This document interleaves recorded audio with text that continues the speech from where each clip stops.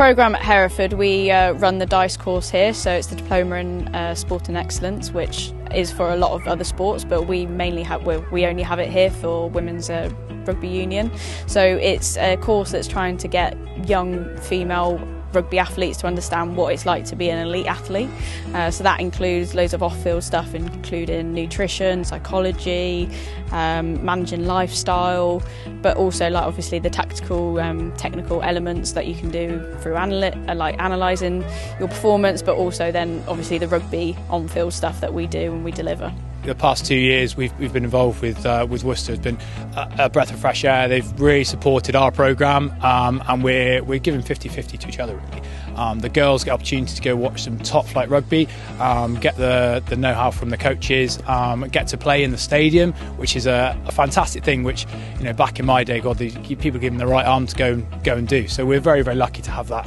um, uh, with a relationship here, and hopefully these girls will be gracing the stage at Worcester in uh, a few years. It's not just the rugby here that's good. We are um, outstanding for Ofsted in academics as well. So as well as just having um, the sports side of things and having a real go at that, you also have the support with your academics, so it's not like you're compromising at all. I want to play professional rugby, hopefully through Wales or England, but I to slowly get there. Um, and the DiSE programme actually helps me understand what to do to like, get to that position, so I can see what goes on in the background, like the nutritional sort of um, place of it